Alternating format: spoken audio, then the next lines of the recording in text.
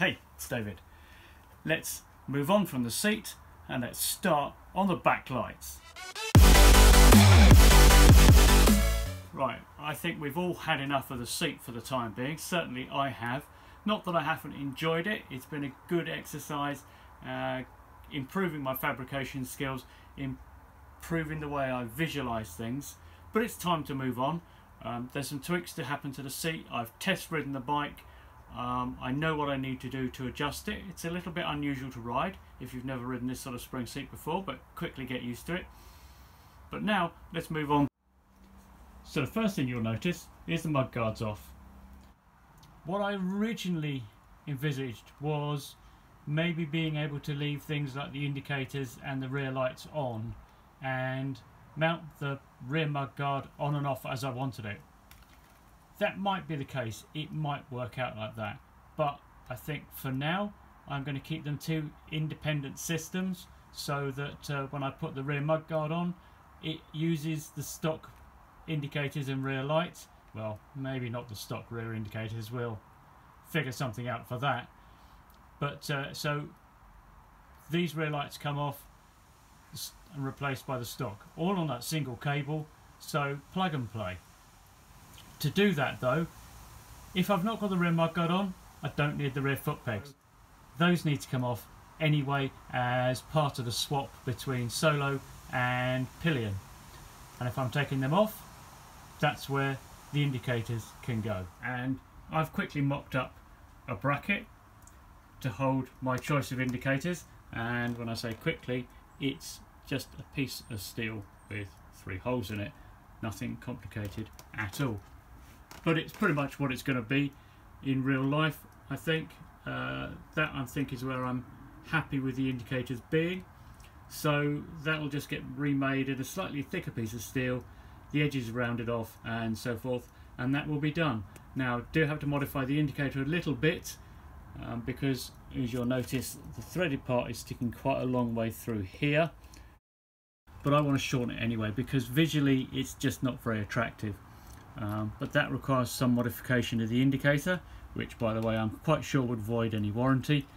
But um, there we go. It's just part of being custom. Now this indicator is the one I've used before. I've had it on the Sportster for years and it's the Motone uh, bullet indicators. I like them. They're really well made.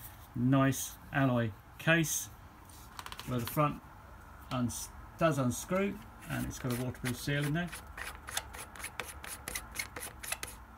so it's a really nice fine thread. Does a great job.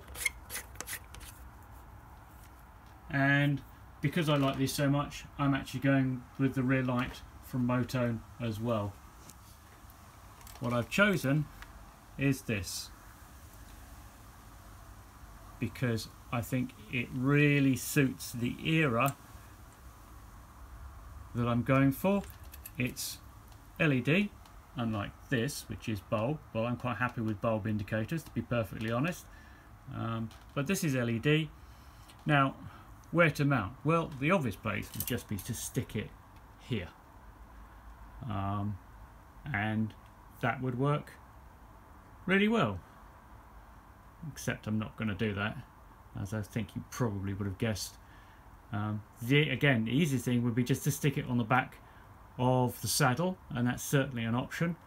Um, but there is okay the saddle will move up and down a bit because it's on a spring but I don't think it would move up and down or twist enough to significantly change how visible that would be. And actually I think that would be, if I was going with a single uh, mount for that that would be where it it would go. I think I'm quite happy with it there but it's not. It's going to go here. And there's going to be two. So there's going to be one each side. Um, again that's a bit of a classic Harley thing. I'm not quite sure when Harley started doing it. Probably later than the 50s but it's certainly a, a, an old Harley thing to have the two rear lights. And I, I think it looks in my opinion best around here. I do have to allow room for a rear plate somewhere. I haven't made my mind up where that's going to go. Um, there's only two real places for it. but um, well maybe if I'm using this configuration maybe I've got a op third option but we'll see so for now that's where that's going to go my issue is how do I mount it let's get the indicators in place let's make up some brackets get them in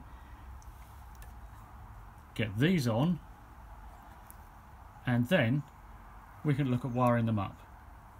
So with my uh, template let's just mark off a couple of sections get those cut off and drilled out. Oh yeah.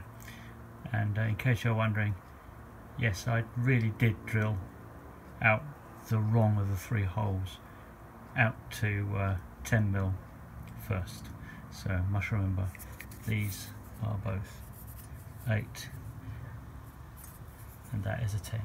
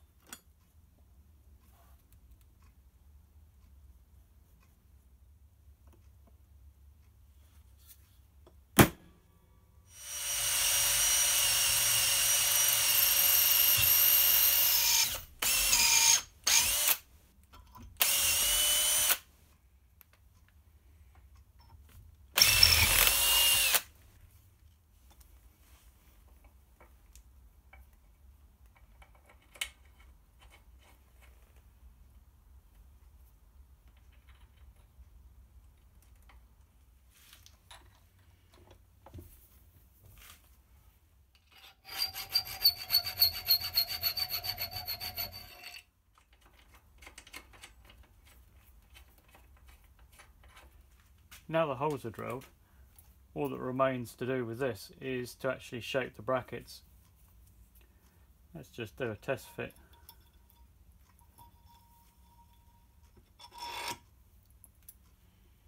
So that's just fine. I'll then need to shorten that indicator bolt down. So first things first, let's do a bit of tidying up on these so that uh, then we can turn our attention to these.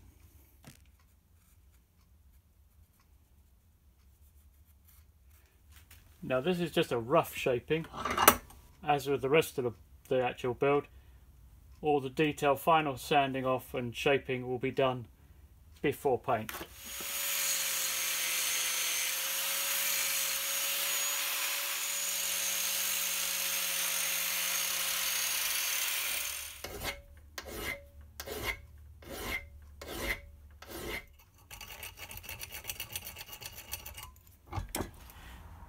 Bolted the, uh, just hand tight the bracket in place here. So this bracket needs finishing. There's no point doing too much work on a bracket like this until you're actually sure this is going to be the final product. I mean, what if I decided that I actually wanted to tie this in to a mount for the rear light, for example, or I'm going to need to modify it because I'm going to put the uh, I'm going to bolt the number plate bracket back to here. No point wasting time with fine details until the bike is actually prepped and ready and you know it's as you want it. Now as I say this is is too long but let's feed it through and see what we've got to work with. It's going to be rare you're going to have an application that actually uses this much thread in my opinion. It's there because sometimes you need it but when you don't need it this is either in the way or it's ugly, or it's both. And what you can't do is just, well, you can if you're really careful, um, is just to take a hacksaw to this and to carefully cut your way through. But in my experience, nine times out of ten, you're more likely to come through and cut this this protective sheathing or even through the cables themselves. So I prefer not to do it that way. So I'm just going to use this for measuring purposes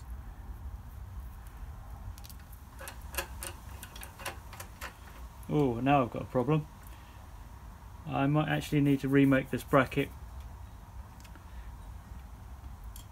Although I could get this slim nut in, I can't get this uh, fatter flange nut in there.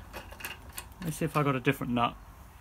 So, as I was saying, this is why you don't make, you don't put too much work into finishing your brackets until you've finally tested them in place.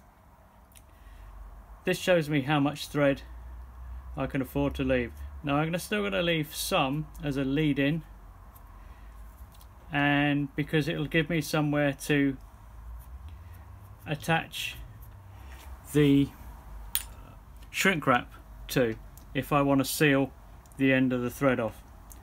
But even allowing for another washer in there that should be fine. To cut this down we need to remove this because otherwise there's a very high chance from personal experience of cutting through them. If you're really careful yeah maybe you don't need to but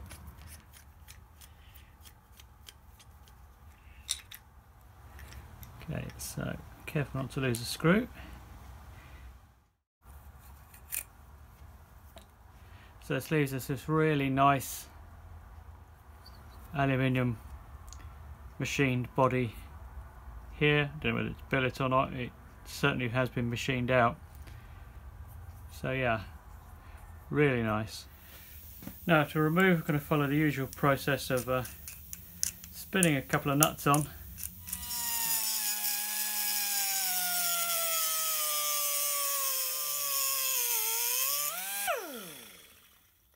Okay, so chop down, filed off, quick deburr, blow out. And we can reassemble.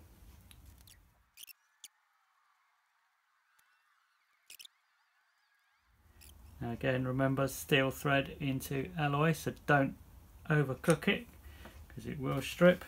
Now there's a rubber seal down in here which keeps the whole thing nice and waterproof from the front but obviously we do have a point of water entry in here so uh, I do like to seal these up. But that's now ready for fitting to the bike. Electrics will have to come a little bit later. In case you're wondering why I said electrics will have to come a bit later it's because I want to wire the whole plug-in rear lights indicators into that uh, single plug all in one go. I have every confidence that the individual units will all work, they're all brand new. I haven't tested them, but uh, if I should prove wrong and there is an issue, so it won't be much to uh, fault find.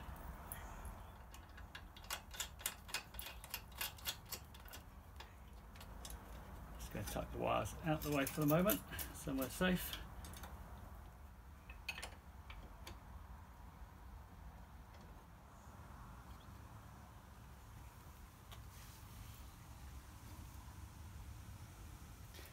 Now what I'll have to do is do the other side, but having done it once, second side is always easier.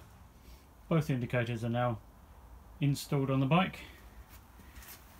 Wiring, wiring needs tidying up correct hardware uh, nuts and stuff. This needs to be routed, connected, because they're still just floating around here at the moment. But that's where they're going to be. Um, I need to decide on routing and, and so forth, and uh, tidying up and hiding so that stuff is not quite so immediately obvious. But on the whole, That's good. Disappearing into the bike, which is what I wanted. Nice and subtle, but as I say, I've used these before, I like them. Indicators are fitted.